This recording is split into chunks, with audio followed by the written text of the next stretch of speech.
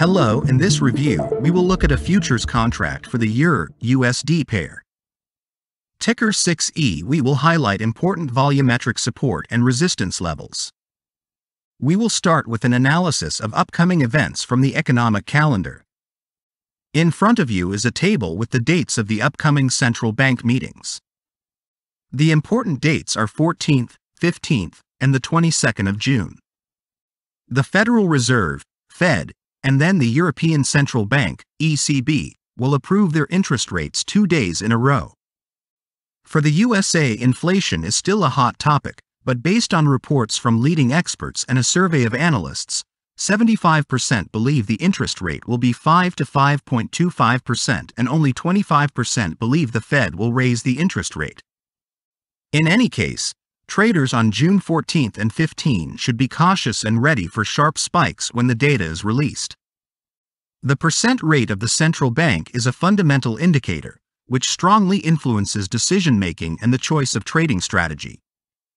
It is likely that the start of the trend on 6E could be on the 14th to the 15th of June. Profile cluster shows the distribution of trading volume by price during the week. Volume limit 80.000 contracts and higher light gray color. With this limit we see the volume cluster in each bar, the core. Briefly about markers on the chart itself. The circle, in blue, indicates when the Fed interest rate meetings took place. The interest rate hike began before the Euro FX crossed 1.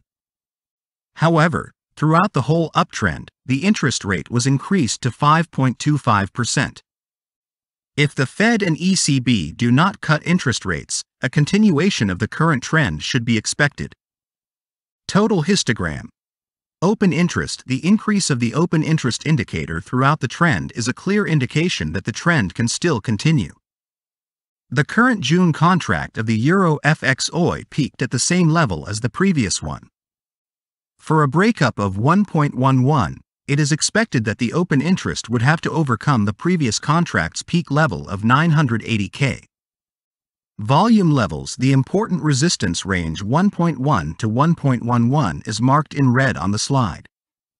The key support range is 1.06 to 1.068.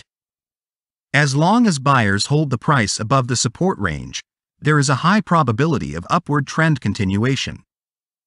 For long-term buying, the resistance range should be monitored, namely to wait for its breach. In case the buyers fail to control the price and push the price above 1.11 within 3 to 4 weeks of hitting this range. It would be wise to play it safe and take some profits or close the buy.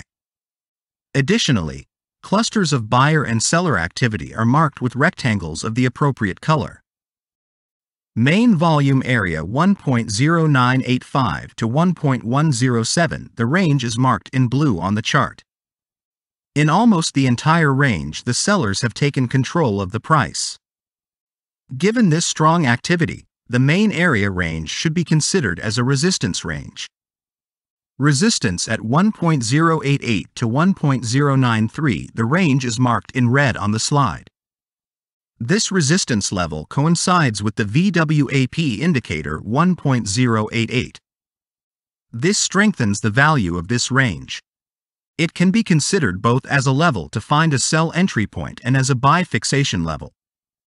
Support at 1.0675 to 1.072 buyers in this range actively retained control at the beginning of the contract. This range is worth taking note of and keeping an eye on how the buyers will defend the range. 1.06 to 1.0635 support level was formed at the beginning of the contract. The breakdown of this level confirms the weakness of the buyers and cancels the search for buy trade scenarios. I recommend putting price alerts. 1.088 buyers intend to return the price above VWAP. 1.1 upward trend strengthens. 1.111 fourth attempt to hit the high. 1.0675 sellers are about to break through the June contract low. 1.06 completion of reversal pattern. The open interest indicator is an additional indicator for evaluating the state of the current trend. The orange-colored vertical lines with markings separate periods of participant activity based on changes in the open interest indicator, OI.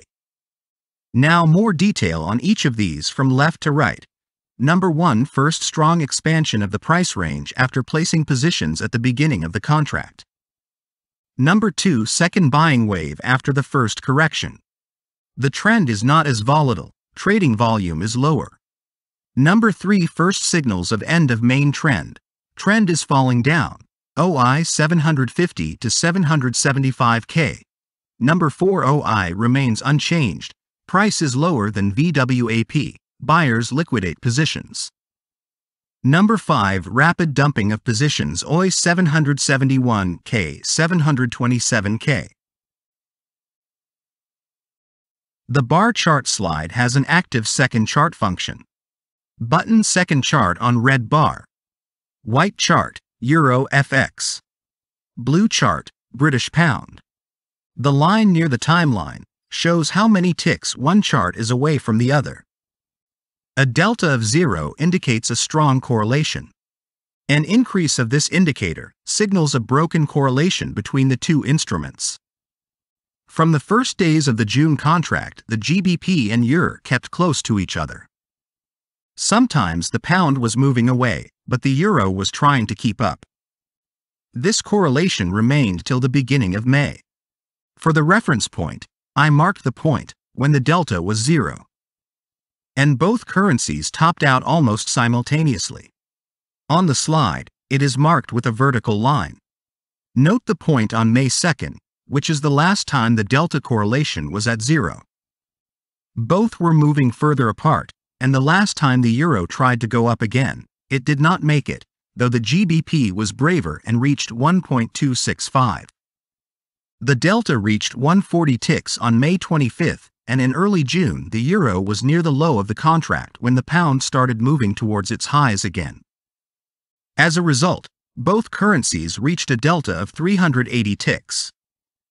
It remains to be seen when the euro starts to close the gap. Subscribe and don't forget to turn on the bell so you don't miss the latest analysis on our YouTube channel.